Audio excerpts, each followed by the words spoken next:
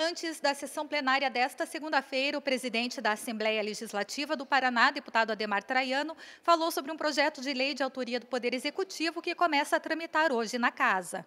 Trata-se de uma alteração na lei orçamentária, que já havia uma previsão legal para gastos nessa área, e agora há necessidade de abrir um crédito especial para complementação de investimentos que estarão disponibilizados para a Corregedoria do Estado.